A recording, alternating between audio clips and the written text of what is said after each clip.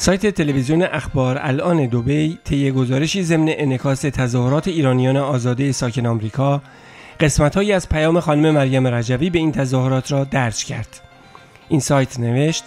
جمعه 31 خرداد هزاران ایرانی در مقابل وزارت امور خارجه آمریکا در واشنگتن تظاهرات کرده و نقض آشکار حقوق بشر و تروریسم و جنگ افروزی رژیم آخوندی در تهران را محکوم و حمایت خود را از مقاومت مردم ایران و رهبر آن مریم رجوی اعلام نمودند. سایت العربیه نیز طی گزارشی سخنان شخصیت های سیاسی شرکت کننده در این گرد همایی را منتشر کرد. در این گزارش آمده است نمایندگان و سیاستمداران آمریکایی در تظاهرات گسترده ایرانیان مخالف رژیم تهران در واشنگتن در مقابل ساختمان وزارت خارجه سخنرانی کردند و به حمایت از فعالیت‌های اپوزیسیون ایران برای تغییر رژیم ایران فراخواندند. سپس به سخنان تعدادی از شخصیت‌های آمریکایی از جمله نمایندگان براد شرمن و مک کلینتاک و سناتور رابرت توریسلی، فرماندار بیل ریچاردسون سفیر سابق آمریکا در ملل متحد و ژنرال جک کین جانشین رئیس ستاد ارتش آمریکا اشاره می کند. سایت الوطن کویت نیز ضمن انتشار خبر تظاهرات ایرانیان مخالف رژیم تهران به قسمتی از سخنان و موضع‌گیری های سخنرانان این تظاهرات اشاره کرد و نوشت نمایندگان و سیاستمداران آمریکایی که در تظاهرات گسترده ایرانیان مخالف رژیم تهران در واشنگتن پایتخت آمریکا مقابل ساختمان وزارت خارجه آمریکا سخنرانی کردند خواستار حمایت از جنبش اپوزیسیون ایران برای تغییر رژیم ایران شدند.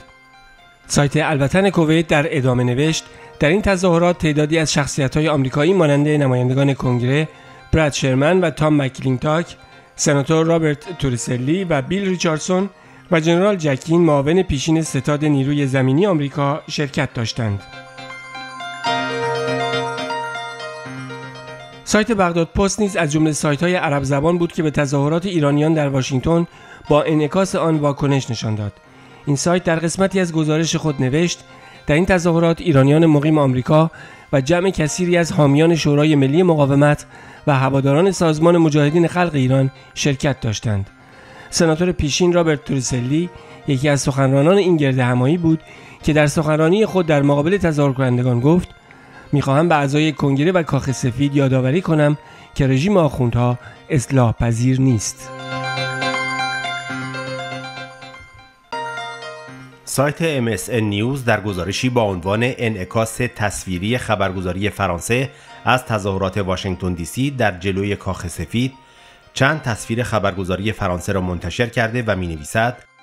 ایرانیان ساکن آمریکا در واشنگتن دی سی در 21 ژوئن در جلوی کاخ سفید راهپیمایی کردند و خواهان به رسمیت شناختن حق مردم ایران برای تغییر رژیم شدند.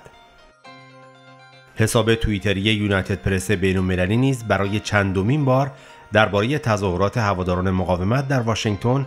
توییتی با عنوان ایرانیان ساکن آمریکا در تظاهرات واشنگتن دی سی خواستار تغییر رژیم شدند توییت کرد و در ادامه نوشت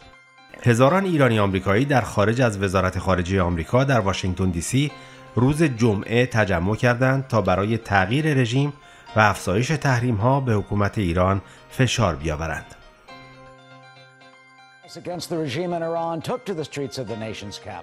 گزارشگر شبکه فاکس نیوز اریک شان طی گزارشی تظاهرات ایرانیان در مقابل کاخ سفید را انعکاس داد. اریک شان گفت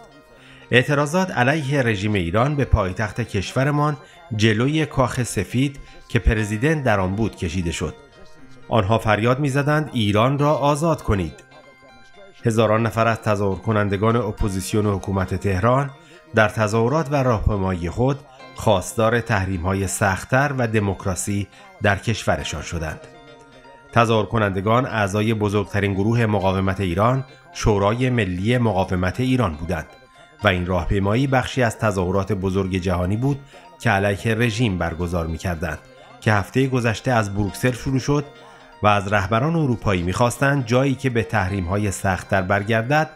جاپای آمریکا مانند لیستگذاری سپاه پاسداران به عنوان یک سازمان تروریستی بگذارند.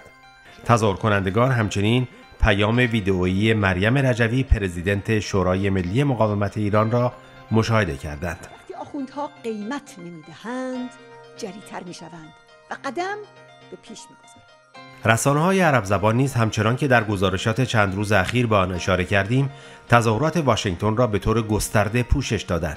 روزنامه دستور مصر یکی از این رسانه هاست که با عنوان راهپیمایی بزرگ هزاران ایرانی در واشنگتن در حمایت از مقاومت ایران می نویسد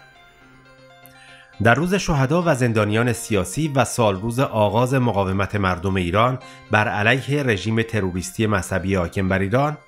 هزاران ایرانی در مقابل وزارت خارجه آمریکا در واشنگتن گرد آمده و سپس به سوی کاخ سفید راهپیمایی کردند. سپس به حضور شخصیت ها و سیاستمداران آمریکایی اشاره می کند و در ادامه می نویسد جمع انبوه ایرانیانی که از ایالت های مختلف آمریکا آمده بودند نقض آشکار حقوق بشر و تروریسم و جنگ رژیم آخوندها را محکوم و حمایت خود را از مقاومت ایران